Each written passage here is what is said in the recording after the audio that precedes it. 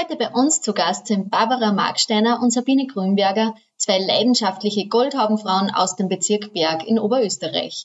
Sie plaudern aus dem Nähkästchen und verraten uns, wieso Goldhauben eigentlich nur von Frauen getragen werden und was sie dazu bewegt, drei bis vierhundert Stunden in die Anfertigung einer dieser Goldhauben zu investieren. Sei gespannt auf eine Folge der ganz anderen Art und freue dich auf traditionelle, geschichtliche und moderne Infos rund um die Goldhaube. Hallo liebe Flowcity Community. Super, dass du wieder mit dabei bist beim Podcast für Vereine, Funktionäre und Mitglieder. Vereinsbooster ist dein Podcast für Vereine und neben Inspiration und Unterhaltung steht vor allem eins im Vordergrund. Gemeinsam für unsere Vereinswelt, denn Ehrenamt ist Ehrensache. Wir dürfen euch herzlich begrüßen. Schön, dass ihr euch Zeit genommen habt für uns. Ähm, liebe Barbara, liebe Sabine, wir haben am Anfang ein paar Fragen, damit wir echt persönlich ein bisschen besser kennenlernen. Und die erste Frage, die mich interessieren wird, ist, Tragt sie lieber Tracht oder sportliche Kleidung? Also ich für meinen Teil trage lieber Tracht. Okay. Ich mache das auch beruflich unter Anführungszeichen, äh, weil ich ja gerne im Gästehaus äh, Dirndlkleid zum Servieren vom Frühstück zum Beispiel trage. Mir ist es so, dass ich, wenn der Rahmen irgendwie passt, sehr, sehr gern Tracht trage. Also dort, wo es möglich ist oder wo ich mir denke, da passt es halt, trage ich sehr, sehr gern Tracht.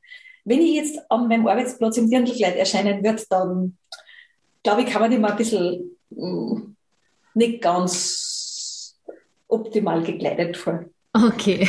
Also so mein Büro ist man jetzt in einem, in einem klassischen Büro ist man jetzt im Dirndlkleid ähm, Leicht overdressed. Leicht overdressed, wobei ich habe kürzlich von einer Goldhaubenfrau, die ist Firmeninhaberin, gehört, dass ihre Mitarbeiterin, ihre sehr geschätzte Mitarbeiterin gesagt hat, weißt du was, ich komme jetzt im Dirndlblau in die Arbeit, weil ich habe so viel Dirndlblau und ich will so ein wenig mehr anziehen. Ist ja auch spannend. Ähm, die zweite Frage, die mich interessieren wird, weil bei den Goldhaubenfrauen ja sehr viel handwerklich gemacht wird, darf sie lieber häkeln oder lieber stricken? Also ich tue leidenschaftlich gern stricken, allerdings keine Socken, keine Fäustling, sondern Perlen stricken. Das ist äh, eigentlich sehr alte Technik, wo man dann so Beutel zum Beispiel stricken kann oder Geldtaschen stricken kann. Bei mir ist ähm, eher in Richtung weder noch, also wann ich mich schon entscheiden muss, dann nehme ich Häkeln. Äh, aber was ich unendlich gern tue, ist Sticken und mhm. nähen. Also das sind meine handwerklichen Neigungen. Also ich tue wirklich sehr, sehr gerne nähen, nähe auch wirklich sehr viel. Also es ist, vergeht keine Woche, wo ich nicht meine Nähmaschine starte. Wow. Äh, und eben auch beim Sticken. Mhm. Okay. Also meine Nähmaschine ist immer am Nähplatz und immer ausgepackt und immer bereit. Meine übrigens auch, da schaut's furchtbar aus. ich fange immer irgendwas an und dann dauert es halt wieder, bis das wieder dazu kommt. Merkt euch eine leidenschaftliche oder euch eine Leidenschaft zum Handwerk. Und die letzte Frage, die wir hätten zu euch persönlich, war, dass ihr lieber gemütlich ein Buch lesen oder die Tracht am Kirtag ausführen? Wieder eine schwierige Frage.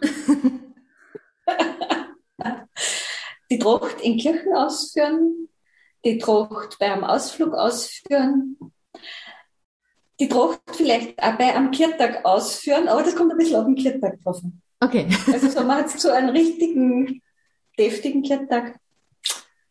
Hm. Also beim Oktoberfest weiß ich nicht, ob ich richtig war. Aber ansonsten darf ich einmal sagen, dass sie dort Sabine und ich recht einig sind, was okay. das angeht. Wir haben ja da heute ganz trachtige und traditionelle Damen bei uns. Und vielleicht ganz kurz zu Beginn für alle Zuhörerinnen und Zuhörer von uns, die jetzt kein Bild von Goldhabenfrauen haben. Was machen denn Goldhabenfrauen überhaupt? Ähm, naja, in erster Linie natürlich ähm, führen wir Goldhabenfrauen unser Goldhabenpracht aus. Das ist ja, das ist ja unser Markenzeichen, unser, unser charakteristisches Element, mhm. das, was uns ausmacht. Also dieses Gold auf unserem Haupte, das wir ausführen, äh, mit denen wir halt verschiedene Feste da feierlich ergänzen. Aber natürlich ist es noch viel mehr Goldhaubenfrau sein. Das heißt einfach, dass man sich da einer Tradition verbunden fühlt, dass man einer Gemeinschaft zugehört, dass man in der Gemeinschaft gemeinsam was unternimmt, was macht und andere unterstützen kann. Genau. Das ist das, also was uns Goldhaben Frauen verbindet und ausmacht. Das sozial-karitative Element ähm, ist äh, eigentlich der Schwerpunkt der Goldhaben-Gemeinschaft. Und insofern kann man die Goldhaube eigentlich auch als Symbol für Wohltätigkeit verstehen. Mhm. Das heißt, was sozusagen ja auch aus der Geschichte heraus einen Unterschied macht. Ja. Äh, weil früher stand die Goldhaube für die Präsentation des Reichtums, des sozialen Status. Und heute steht die Goldhaube eigentlich für diese Gemeinschaft, die sozial karitativ tätig ist. Das ist jetzt ganz schön zusammengefasst. Und das macht für mich jetzt sehr einfach, äh, wozu die Goldhaube dient, weil das ist nämlich so das Markenzeichen, wo ich zumindest im Ort da immer die Goldhauben-Damen sehr schnell erkenne, die führen die Tracht aus und vor allem auch die Goldhaube an sich. Und ich habe das schon ein paar Mal beobachtet, es gibt ja auch schwarze Goldhauben. Gibt es da einen Unterschied zwischen so schwarzen Goldhauben und, und goldene Goldhauben? Also in dieser großen Familie der Hauben gibt mehreres. Also wie du richtig gesehen hast, es gibt goldene Hauben, es gibt schwarze Hauben, dann gibt es auch Halbgoldhauben, das sind schwarze Hauben, wo ein paar kleine goldene Teile draufgestickt sind meistens. Dann gibt es noch Florhauben, das sind Hauben, die überhaupt keine Bestickung haben, aber ein Spaten, schwarzer Spitzenflor sozusagen die Basis der Haube ist. Und eigentlich ist es ähm, sehr, sehr landläufig die Meinung, die schwarze Haube ist eine Witwenhaube. Mhm. Weil wir halt heute schwarz als Trauerfarbe verstehen, äh, ist aber ein Irrtum. Äh, früher war es einfach so, dass sich nicht jede Frau eine Goldhaube leisten konnte. Und äh, das zweitfestlichste noch Gold war die Farbe schwarz. Und ähm, dann hat man halt einen schwarzen Spitzenflor genommen und hat den, so man hatte oder sich leisten konnte, nur äh, schwarze Glasperlen draufgenäht. Und dann hat man halt eine schwarze Haube getragen. Es war ähm, ja die Alltagshaube, weil, wie du dir vorstellen kannst, eine Goldhaube eignet sich nicht so gut, um auf den Markt zu gehen. Ähm, da war oft die schwarze Haube dann das bessere, die bessere Wahl. Also die reichen Bürgerinnen, die haben durchaus eine, zwei, drei Goldhauben gehabt und dann auch noch mehrere schwarze Hauben für sozusagen die Goldhaube für den Sonntag und die schwarze Haube für den Alltag. Wochen, für den Alltag. Ah, jetzt bin ich ja schlau. War ja Zur Goldhaube vielleicht an sich. Wird die Goldhaube immer in Verbindung mit, mit den Trachtenkleidern getragen oder gibt es Anlässe, wo man nur die Goldhaube an sich aufhat? Nein, also äh, die Goldhaube wird tatsächlich äh, zum, zum Seidengewand getragen. Also zu dieser Festpracht. Das kann ein Bürgerkleid sein, das aus der Entstehungszeit der Goldhaube kommt. Also da ist sozusagen Schnitte aus dem Empire, aus dem Biedermeier, sind da häufig gesehen, bis auf äh, zur Jahrhundertwende und seit dieser Erneuerung natürlich auch modernere ähm, Seidenkleider die allerdings trotzdem lang sein sollten und ein- oder zweiteilig, aber in moderneren Schnittführungen. Also man muss nicht mehr, mehr ein Biedermeierkleid mit Hammel- oder Keulenärmeln tragen. Man kann durchaus auch ein schnittiges, modernes, durchaus ein bisschen figurbetonteres Kleid tragen. Und wie lang wird an so einer Goldhaube gearbeitet? Und wird äh, nur die Goldhaube selber gefertigt oder auch das Dirndl? Wie ist das bei euch? Äh, ja, das kommt ganz auf äh, das Talent und die Ausdauer an. Also auch die Goldhaube muss man nicht selber fertigen. Viele erben eine Goldhaube, manches kaufen auch die Goldhaube. Manche sagen, nein, meine Goldhaube, mit der fühle ich mich nur verbunden, wenn ich es selber mache. Äh, man arbeitet da schon lang dran. Also man kann da durchaus auch mit 300 Stunden, wenn sie dicht bestickt ist, dafür rechnen. Also das ist schon eine ganz schöne Zeit. Äh, wenn man sich das zutraut, kann man, kann man auch das Seidenkleid selber nähen. Äh, man macht das im Regelfall, wie auch die Goldhaube, äh, unter Anleitung von einer Kursleiterin, die, dies, die den Schnitt äh, zeichnet und vielleicht auch zuschneidet, äh, mit der man das gemeinsam dann macht, nach den Vorstellungen gestaltet. Man kann das Kleid natürlich auch von einer Schneiderin machen lassen. Äh, und äh, das Dirndl ist ja wieder ein bisschen eine andere Sache. Das Dirndlkleid ist ja sozusagen eher so ein bisschen ähm, ein Alltagskleid von der Goldhabenfrau. Wenn man jetzt nicht mit der Goldhaben ausgeht, dann kann man zu einem festlichen Anlass eben mit dem Dirndlkleid. Das ist ja dieses klassische Dirndlkleid, das wir es kennen, mit dem Leibelkittel und der Schürze. Und viel Goldhabenfrauen nähen sie natürlich auch die Dirndlkleider selber, auch oft wieder bei einem Kurs, wo man das eben dann wirklich gut gestalten kann und professionell umsetzen kann. Bei den Goldhaben gibt es die 4G übrigens, das konnte man eingangs noch dazu sagen. Also das heißt, äh, es gibt vier Regeln, wie man zu einer Goldhaube kommen kann, indem man sie also geerbt, geschenkt, gestickt oder gekauft. Äh, das sind die mehr Regeln als, als bei den Breikes, aber so sind die Wege, wie man zu einer Haube kommt. Das haben sich die Politiker dann von den Goldhabendamen abgeschaut. ihr habt jetzt auch gerade erwähnt, dass ihr euch das vor allem selber ähm, macht, die, die Gold haben. Gibt es da in Österreich oder in Oberösterreich Kurse speziell für Interessierte, wenn man sagt, hey, ich möchte das einmal ausprobieren, kann man da wohin gehen oder gibt es überhaupt Kurse? Ja.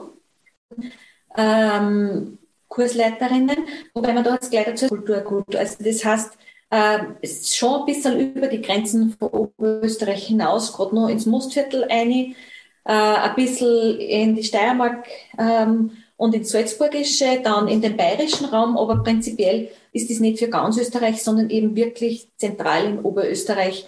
Die Goldhaben sozusagen hat diesen, diese starke Tradition und da ist es eben so, dass wir eigentlich in fast allen Bezirken Kursleiterinnen haben, die wirklich Spezialistinnen sind, die, die da einfach ein profundes Wissen haben, wissen, wie die Sticktechnik ist, äh, wie man da anfängt, ähm, wie man die Haube fertigt, wie man der Haube die Krone aufsetzt, den Knauf, dass das einfach auch wirklich eine perfekte Goldhaube. Äh, es ist eher nicht so, dass man sagt, ich probiere das jetzt einmal, sondern eher ist es so, dass man sich entscheidet, äh, ich möchte mal gern selber äh, Goldhauben sticken. Dann geht man zu der Stickkursleiterin, beziehungsweise fragt die Opfer zum Beispiel, zu wem kann ich denn gehen?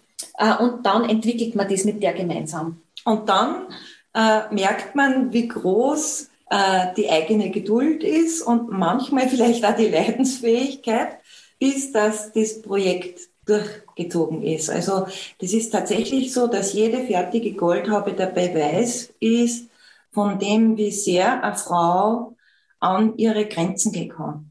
Weil du musst da denken, wenn du jetzt 300 äh, Stunden für so eine Haube brauchst, das ist jetzt keine einfache Übung, das neben dem Beruf, vielleicht neben der Familie, die Kinder irgendwie noch unterzubringen. Und insofern wahnsinnig bewundernswert, jedes Stück, das da fertig wird. Nachdem da ja eigene Kurse angeboten werden, heißt es ja auch, dass die Nachfrage sehr groß ist. Da wird mich interessieren, wie groß ist der Verein Goldhauben eigentlich auf Ortsbezirks, vielleicht der Landes- und Bundesebene? Habt ihr da ungefähr eine Zahl im Kopf oder ein Bild davon? Ja, das haben wir. Wir haben da recht, äh, eigentlich recht genaue Zahlen. Wir äh, wissen da schon äh, über unsere Mitglieder Bescheid, über die Zahlen. Also wir im Bezirk Berg zum Beispiel haben 25 Ortsgruppen und diese Ortsgruppen sind halt je nach Gemeinde verschieden groß. Äh, das kann gehen von einer Ortsgruppe, die vielleicht 15 Goldhaben-Damen hat, bis zu großen Ortsgruppen, wo dann irgendwie 90 äh, Goldhaben-Frauen dabei sind, Goldhaben-Frauen und Mädchen. Ähm, landesweit in ganz Oberösterreich haben wir um die 18.000 Mitglieder. Wow. Und äh, bundesweit gibt es es ja nicht, weil man ja sozusagen in Oberösterreich sind wir so als oberösterreichische Goldhabengemeinschaft organisiert. Äh, in den anderen Bundesländern gibt es diese Organisation, wie es wir da in Oberösterreich kennen, nicht. Spannend. Das ist ja dann auch sehr spannend für die Zuhörerinnen und Zuhörer aus anderen Bundesländern. Was einer denn da entgeht in Oberösterreich? Auch so, dass man das aus anderen Bundesländern manchmal hört. Also insbesondere an die, äh, aus den angrenzenden Bereichen, zum Beispiel in Niederösterreich, wo wir halt noch besonders äh, das auch hören, wo dann auch viele Frauen sind, äh, die jetzt sagen, ma, so schaut, dass diese Tradition bei uns nicht gibt, dass man das bei uns nicht kennt. Ähm, da waren sie eigentlich auch gern dabei. Und es gibt ja durchaus äh, regionale Haubenformen, Also ganz egal, wo du hinschaust, im Waldviertel zum Beispiel, sind auch durchaus gut dokumentiert oder dort und da nur einzelne Stücke vorhanden. Ähm, so wie die Urbauerhaube, oder so bin heißt die? Heißt die? Ja, Urbauerhaube heißt die. Ähm, das ist da im nördlichen Waldviertel daheim gewesen, um Richtung äh, Tschechoslowakei, aber damals in der KK-Zeit war das natürlich nur äh, Österreich, Ungarn. Ähm, und das ist halt dann ausgestorben, vor allem so in der Zeit hin zum Zweiten Weltkrieg und nie wieder belebt worden. Und das ist vielleicht auch der große Unterschied zu uns in Oberösterreich, wo die Goldhauben eigentlich durchgehend getragen wurden, allerdings noch nicht immer in der Vereinsform, also das heißt in den 1920er, 1940er, 50er, 60er Jahren noch nicht als äh, Verein, aber dann in den meisten Ortsgruppen ab den 1970er Jahren ist es losgegangen. Davor waren es lose Gruppen oder eben einzelne Frauen, die diese Tradition noch hochgehalten haben. Nur in Mauthausen zum Beispiel, da sind wir schon seit 80 Jahren eine Gruppe dokumentiert.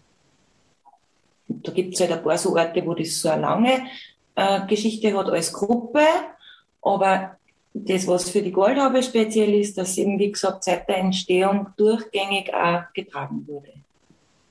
Sehr spannend und sehr aufschlussreich.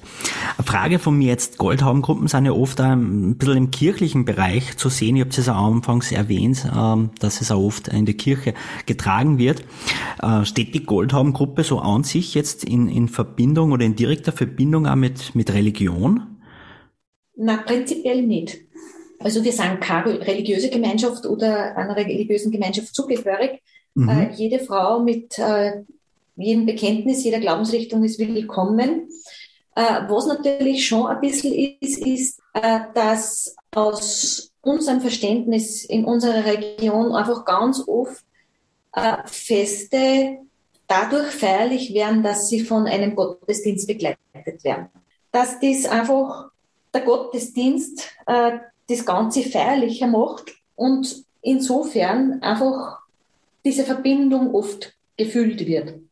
Vor allem, weil man halt auch wissen muss aus dem historischen Kontext, die Goldhaube ist halt einfach an den feierlichen Tagen getragen worden und das war im Regelfall der Sonntag. Das heißt, man hat es zum Kirchgang aufgesetzt, weil ja überhaupt die Bedeckung des Hauptes ja auch einmal äh, Gebot war, sozusagen von der Obrigkeit. Ähm, und das ist halt erhalten geblieben, heißt aber nicht, dass eine Goldhaube eben nicht auch zu weltlichen Anlässen getragen werden kann. Also das heißt, wenn die Gemeinde irgendeine Feierlichkeit begeht, eine weltliche Feierlichkeit begeht, die nichts mit dem Gottesdienst so jetzt zu tun hat, äh, meinetwegen eine Ehrenbürgerfeier oder was auch immer, dann werden auch sehr gern die Goldhaubenfrauen da zur feierlichen Umrahmung und als schmückendes Beiwerk sozusagen mitgenommen. Meine nächste Frage ist vielleicht sehr einfach, ähm, weil im Wort Goldhaubenfrauen steckt das Wort Frauen. Und meine Frage dazu ist, sind Goldhauben wirklich nur für Frauen und warum ist es so? Welchen geschichtlichen Hintergrund hat das vielleicht?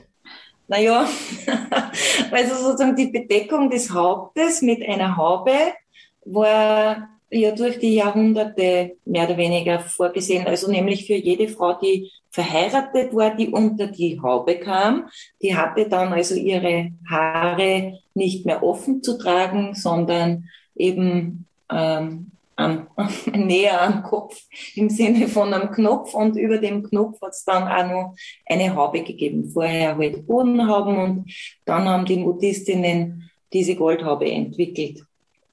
Und ähm, jetzt sage ich einmal, logisch ist, dass diese Hauben natürlich damals schon nur Frauen getragen haben. Und das ist auch heute so. Wobei natürlich äh, Männer in manchen Ortsgruppen durchaus mit dabei sind, indem es dann entweder eine Bürgertracht, also so zum Beispiel im Steirerraum diese Hammerherrentrachten äh, tragen. Das sind sozusagen die, die Männeranzüge der Biedermeierzeit mit einem Hut dazu. Äh, in manchen Ortsgruppen gibt es eben dann auch Hutträger, die da mitgehen, Kleinerchen, die mit Lederhose, die äh, Mütter da vielleicht begleiten. Und natürlich mögen wir es gern, wenn uns die Männer bei karitativen Zwecken unterstützen und vielleicht einmal die Tische aufstellen und die Bierbänke auf und zu klappen. Äh, aber als Haubenträger würde man uns das eher nicht wünschen. So aufgeschlossen sind wir gerade noch nicht. ich habe jetzt gerade einen ziemlichen Aha-Effekt gehabt mit unter der Haube kommen, woher der Ausdruck vielleicht kommt oder was für ein Zusammenhang das mit sich birgen kann. Ähm, man merkt ja bei euch, ja. dass ihr ziemlich ähm, leidenschaftlich dabei seid bei den Goldhaben Frauen. Und da wird mich interessieren, dass ihr ja Bezirksleiterin quasi und Stellvertreterin seid. Wie seid ihr zu eurer Funktion gekommen und was ist ein Anliegen und Ziel, das ihr mit der Leitung von der Goldhaben-Gruppe verfolgt? Na, wie wir dazu gekommen sind, das ist ganz einfach. Unsere Vorgängerinnen ähm, haben uns gefragt, ob nicht wir zwei das machen konnten. und äh, wir, haben, wir haben dann gesagt, ja, also wir möchten uns natürlich darauf vorbereiten und haben da, ich glaube, noch so ein, zwei Jahre Zeit gehabt, dass erstens unsere Kinder größer geworden sind und äh, zweitens wir aber uns auch einfach in die Materie recht tief einarbeiten können haben und haben das mit sehr viel Begeisterung und Spaß übernommen und den haben wir nach wie vor. Die Obfrauen im Bezirk haben das dann auch alle bestätigt. Also sozusagen, ähm, die haben uns dann gewählt. Und ja, und seither versuchen wir, dass wir unsere Begeisterung da auch weitergeben können. Also für mich ist das wirklich die oberste Triebfeder. Das ist diese Begeisterung für so ein einzigartiges Kulturgut, das wir da in Oberösterreich nämlich original haben, ja. Das gibt sonst nirgends auf der Welt. Äh, so eine festliche Kopfbekleidung, wie wir sie da haben, ist einzigartig. Und äh, wenn man sich damit beschäftigt und mit der Geschichte beschäftigt und je mehr man eigentlich drüber weiß und liest und recherchiert, umso spannender wird es immer wieder. Und diese Begeisterung umzubringen, das ist einfach für mich das Hauptanliegen. Ja, wenn ich andere dafür begeistern kann, dann werden die einfach zu Multiplikatoren. Und jeder kennt das, er fährt gerne in Urlaub und mich hat gern sehen, was dort so richtig typisch ist. Und, ähm, und das ist sowas, was wirklich für Oberösterreich ein, wenn nicht das, ähm, kleidungshistorische und überhaupt Kultur ähm, und volkskundlich gesehen Alleinstellungsmerkmal ist. Und das finde ich höchst spannend. Ja, und das natürlich dann sozusagen diese Begeisterung für dieses einzigartige Kulturgut da einmal, ähm, ist natürlich ein zentrales Element. Das, dass wir diese Begeisterung weitergeben, dass wir viele Menschen erreichen mit dieser Begeisterung und dadurch auch wieder ähm, Leute gewinnen, die diese Begeisterung teilen, die dieses Kulturgut weitertragen, die diese Tradition auch mit uns, wir alle in Oberösterreich gemeinsam, diese Tradition leben, sozusagen, weil sobald wir die Begeisterung verlieren, während man das lebt, ist tot, ausgestorben, weg. Also es ist uns wichtig, diese Tradition einfach, diese Begeisterung da weiterzugeben. Äh, Natürlich ist die Goldhaubengemeinschaft, wie, wie wir uns bezeichnen, steckt da schon die Gemeinschaft drinnen. Ist uns das ein wichtiges Anliegen, dass Menschen da einfach eine Gemeinschaft finden, ähm, wo sie gern dabei sind, ähm, wo sie willkommen sind, wo sie eine Fähigkeiten, wo die Fähigkeiten des haben auch geschätzt werden. Also dieses, dieses Gemeinsame, dieses Wir, äh, ist ein ganz ein wichtiger Punkt bei den Goldhabenfrauen, das wir einfach auch vermitteln wollen. Dieses wir gemeinsam stellen was auf die Füße, wir gemeinsam machen was. Wir backen Kuchen und verkaufen sie, wir backen Kekse und verkaufen sie.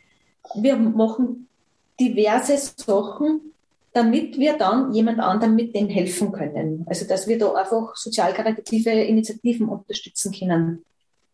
Das ist natürlich auch ganz, ganz ein wichtiges Element dass wir neue Dinge aufgreifen und als Tradition einführen, ähm, gehört natürlich auch dazu, ist auch ganz was Wichtiges, dass wir uns auf was Neues einlassen, dass wir auch moderne hm, Zugänge möglich machen.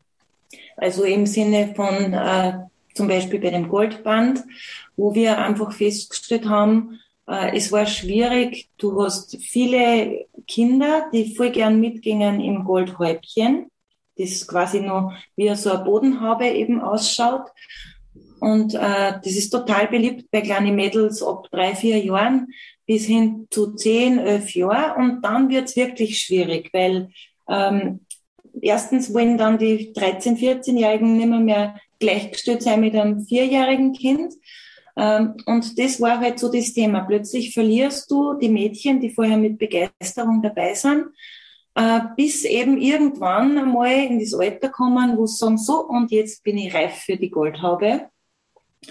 Und äh, dadurch, dass wir dieses Goldband als Lückenschluss eingeführt haben, das jetzt natürlich nicht existiert hat, ja, ähm, aber das in der Technik gestickt ist wie eine Goldhaube oder eben das Mädchenhäubchen, ähm, dadurch haben wir sozusagen jetzt so ein Bindeglied, wo wir uns doch auch diese Mädchen in einem Alter von 12 bis 18 in der Gruppe halten können. Wo es natürlich auch wieder neue Dinge ausprobieren können. Unterschiedlichste Kursangebote, die es auch in den Ortsgruppen gibt. Gerade auch die Stadt Gruppenberg ist da äh, federführend in der Jugendhandwerkstatt wo sie Verschiedenes anbieten, um eben auch diese Altersgruppe gut anzusprechen. Das klingt schon sehr innovativ, finde ich. Und weil du gerade vom Bindeglied oder von der Bindezeit geredet hast, wie lang ist man durchschnittlich Mitglied bei den Goldhauben? Äh, wir müssen ganz kurz unterbrechen. Warte mal, wir gehen schnell in einen anderen Raum. Passt? Nehmen Sie den Sessel, passt. so, äh, die Frage war nochmal was? Wie lange wir im Durchschnitt Mitglied bei der Gold haben? Ah ja. Ja, das ist das Allerschönste, bei der Gold haben. Genau. Man kann diese Dauer maximal ausdehnen von dem Zeitpunkt, wo man dazugeht. Man wird nie zu alt dafür. genau. Und äh, es ist also die Erfahrung aus den Ortsgruppen, dass dann auch wenn die Damen äh, zum Beispiel in einem Seniorenheim sind, aber dass die dann trotzdem nach wie vor im Jahr noch einmal besucht werden und einer das Neueste aus der Gruppe erzählt wird und da freuen sie sich unheimlich drüber, dass sie nicht vergessen sind und äh, Teil der Gruppe nach wie vor sind im Gespräch bleiben, die Grüße ausrichten. Also das ist, das ist eigentlich das Schöne auch dran, dass wir so so eine große Altersbandbreite haben in den Gruppen.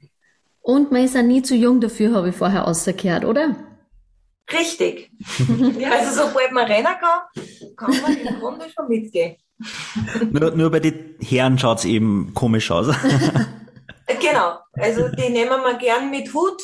Und also da gibt's ja recht feine Biedermeierhüte das vielleicht nur so am Rande. Also die Biedermeier Herrenanzüge, die kennt man ja vielleicht noch aus so historischen Filmen. Und äh, dort und da gibt's manchmal auch, viel haben noch diese Biedermeier-Zylinder zu kaufen. Also quasi ein Zylinderhut. Und äh, das Besondere dran ist, dass die aus einem Maulwurfspelz gemacht wurden äh, wenn man da drüber streicht über so einen alten Biedermeierhut, der ist ganz samtig und glänzend. Und wenn man dann genauer schaut und man weiß, dass das eigentlich ein Maulwurffell war, äh, dann sieht man es nämlich auch plötzlich, dass es ein Maulwurffell ist. Ähm, und äh, man hat ja da bis zu 20 Maulwurfpelzchen gebraucht, dass man so einen Hut damit überziehen konnte. Ähm, aber wenn man so einen Hut noch in der Familie hat, weil die werden doch immer wieder noch wo aufgefunden, dann ist das natürlich auch was Besonderes, wenn das ausgetragen wird. Spannend, muss ich bei mir mal nachfragen. Mhm. Naja, und äh, was natürlich schon auch ist, in, es hat ja in den letzten 20, 30, 40 Jahren auch die Trachtenerneuerung gegeben, neben der Goldhamerneuerung hat es ja in ganz vielen Orten eine Trachtenerneuerung gegeben, wo auch in vielen Ortsgruppen eben eine Herrentracht entworfen worden ist. Das heißt einfach äh, ein besonderes Jackett für die Herren, vielleicht eben auch mit einer Kopfbedeckung sogar dazu oder wiederbelebt worden ist, was was schon vielleicht auch schon äh, gegeben hat. Äh, wie zum Beispiel im unteren Mühlviertel sind das zum Teil diese Kalmok äh, Schamper und diese Hüte mit den mit dem mit der Steinfeder. Mhm. Äh, und natürlich sind die Herren gern gesehen, wenn sie da mitgehen mit so einer Tracht. Also Manuel, wenn du Lust verspürst, erkundige dich bei deiner Gruppe. Vielleicht gibt es schon eine Herrentracht. Wenn nicht, bin ich mir sicher. Maulwurfpelz wozu? Nein, bin ich mir sicher, dass eine Herrentracht entworfen wird. Sonst schaue ich rüber zu euch nach Berg. Genau. Genau. Sehr schön. Ähm, Wir haben auch äh, Fragen vorbereitet und da würde ich euch jetzt bitten, äh, liebe Barbara und Sabine, dass ihr euch für eine Zahl zwischen 1 und 30 einigt. Einigen müssen wir uns gleich. Also, ich war für vier. Ich bin auch für vier Jahre, passt. Ja, wir haben uns auf vier geeinigt. Für vier, ja, dann suchen wir die Frage raus. Vier, und zwar, seit wann seid ihr jetzt direkt im Verein von die Goldhauben, ähm, in dem Fall, und habt ihr immer schon gewusst, dass ihr da, ähm, also bis ihr jung wart, einmal dabei seid und dabei sein möchtet? Ah, das ist eine super Frage. Also, wie ich klar war, habe ich mir immer gedacht, ich würde voll gern mit diesen Häubchenmädchen mitgehen. Es hat sich irgendwie nicht so ergeben, aber wir haben miterlebt, wie unsere Mama die Goldhaube gestickt hat. Und äh, das war halt wahnsinnig faszinierend. Da herrscht nämlich so eine ganz eigene Stimmung während des Stickens. Äh, die Stickerin ist extrem konzentriert in dem Tun, das sie da macht quasi. Aus meiner eigenen Erfahrungswelt kann ich sagen, das ist so ein warmes, wohliges Gefühl im Bauch. Du kannst keine Probleme wälzen und bist aber völlig mit dir im Reinen. Ähm, vielleicht liegt es auch daran, dass die goldene Farbe direkt ins Herz eingeht. Man sagt ja immer, Gold ist die Farbe der Sonne und das erwärmt das Gemüt. Mag sein. Jedenfalls, wie ich dann 18 war, dann kannst du dir vorstellen, war alles andere als Gold haben. habe ich immer dankend abgelehnt. Ähm, und wie ich dann so gegen 30 ging, äh, war das halt auch so ein Thema, dass ich angesprochen worden bin von den Orts, also von der Ortsobfrau damals, ob ich nicht dazugehen möchte, äh, weil so wenig Junge dabei sind. Und äh, im ersten Moment war ich versucht, Nein zu sagen und dann habe ich mir überlegt, aber wie ist es eigentlich, wenn einmal nimmer mehr, wenn niemand mehr geht, wenn niemand mehr mitginge und habe festgestellt, mir würde das bei von Leichnam und sonstigen Anlässen extrem fehlen, weil dieses Glänzen und Glitzern aus meiner Kindheit wahnsinnig beeindruckend gefunden habe. Und so war es halt dann, wie es öfter ist, dass man sich denkt, na ja, okay, aber wenn man das ja eigentlich nicht möchte, dass das aufhört, dann muss man selbst dazu. Und so bin ich zu den Goldhaben gekommen im Alter von 30 Jahren und seither leidenschaftlich dabei. Genau, und ich habe mich anstecken lassen. Genau, also Sabine war mein erstes Opfer. Nein, eigentlich war meine Tochter diejenige, Ja, na stimmt, ich habe den Umweg über die Tochter gewählt. die, die komplett begeistert war und gesagt hat, Mama, ich möchte da unbedingt mitgehen. Du musst mir so ein Häubchen sticken. Gesagt, getan. Und dann war natürlich die Frage der Begleitung. Wer geht denn jetzt mit ihr? Und dann hat meine Tochter so ein bisschen geschaut, mit wem es da geht. Und dann hat sie gesagt, nein, Mama, du musst mit mir gehen. Und damit war die Entscheidung gefällt und seitdem natürlich mit der Begeisterung von der Barbara, ja, seitdem bin ich auch mit Begeisterung dabei. und genieße wirklich, genieße jeden Ausgang, das muss ich wirklich sagen. Das ist echt schön zum Herrn. Meine letzte Frage an euch ist eine Frage aus dem Publikum. Die Daniela aus Hirschbach würde gern wissen, ähm, wie lang sind eure Funktionäre ungefähr im Durchschnitt im Vorstand und wie findet der Wechsel statt? Ist er immer fließend oder von einem Tag auf den anderen? Wie schaut das bei euch bei den Goldhaben aus? Das ist ganz unterschiedlich. Also äh, in den einzelnen Ortsgruppen gibt es da ganz unterschiedliche Traditionen. Dadurch, dass wir ja kein Verein noch Vereinsrecht sind, sondern im Grunde offene Interessensgemeinschaften, äh, gibt es ja nicht so was wie ein Statut im Sinne von einer Jahreshauptversammlung, dass das eine sein muss mit diesen und diesen Funktionen. Und da hat jede Ortsgruppe so ihre eigenen Modi, wenn man will, entwickelt. Ähm, eigentlich ist es meistens so, dass die Ortsobfrauen ihre Tätigkeit zehn Jahre und mehr ausüben. Ähm, also wir haben auch durchaus Ortsobfrauen dabei, die seit Anbeginn fast Obfrau sind, weil sie es mit derartiger Leidenschaft machen. Ähm, aber so im Allgemeinen kann man sagen, ist es so, in den überwiegenden Gruppen ist so noch 10, 15 Jahren dann, dass es einen Wechsel gibt. Und die anderen Funktionen, ich sage jetzt die Kassierin zum Beispiel, das ist meistens mit der Obfrau gemeinsam. Das sind sehr häufig auch Freundinnen, die sich gut verstehen, die, die, die auf kürzestem und direkten Weg da einfach auch dann miteinander kommunizieren. Also, das funktioniert eigentlich hervorragend, muss man sagen. Wow, also der Mann und ich haben sie gerade angeschaut, wie du gesagt hast, 10, 15 Jahre ist man im Durchschnitt da an der Führungsposition, das ist schon ganz eine lange Zeit. Und ich finde das bewundernswert. Ja, aber, aber es ist wirklich so, wenn wir die Obfrauen so beieinander haben bei unseren Bezirkstagungen, weil wir geben da natürlich dann, wir machen zweimal im Jahr eine Bezirkstagung, wo wir zum einen natürlich die Informationen, die von der Landesobfrau kommen, weitergeben oder was auch wir als Bezirksobfrauen so miteinander besprochen haben, weil da treffen wir uns eben auch zweimal im Jahr.